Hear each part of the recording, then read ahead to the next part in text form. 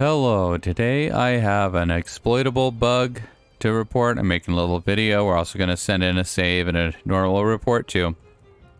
This bug, it's pretty simple. When you enter a fief, all of the parties put all of their prisoners, lords and normal prisoners, into the prisons. This is a, seems to be an intended behavior for them to do. And if this is not your own fief, but a fief of your faction, typically you get a bunch of influence for doing so. This is this part would seem to be intended and normal.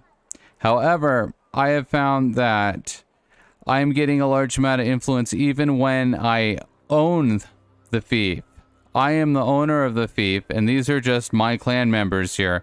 When they put their prisoners into the fief, I get a large amount of influence. And what's more, I can repeat and exploit this. Let's see. We'll go to our dungeon here. Go to the dungeon. Prisoners. We have like 200 prisoners. Some of them are lords. We have other ones here. Here as well. You take them all out. Donate. Give him all of this. And we leave. Now, we just go into we have to have to step out to make them do it. But we won't get dinged for being over prisoner size just doing this because it lets us just go right back in. So we just go right back to the dungeon. You see that? That jumped up significantly there. We got I didn't catch how much it was, but it was a lot. And we can we can just do that again if we want to. And you might ask, well, what's what's the point of doing that? Every 500 influence, you can raise up a new clan as long as you have a fief. So if you abuse this, that takes out a huge element of the strategy for raising up your faction. If you abuse this to just build up your influence indefinitely, you can just keep steamrolling fiefs and making new clans as long as you have a have a wanderer.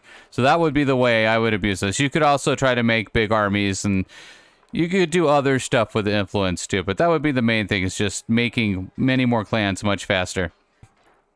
So you can just do this as much as you want. And one thing I wanna I wanna include, I do have one perk that has to do with it. This um this perk relocation. The perk is called relocation.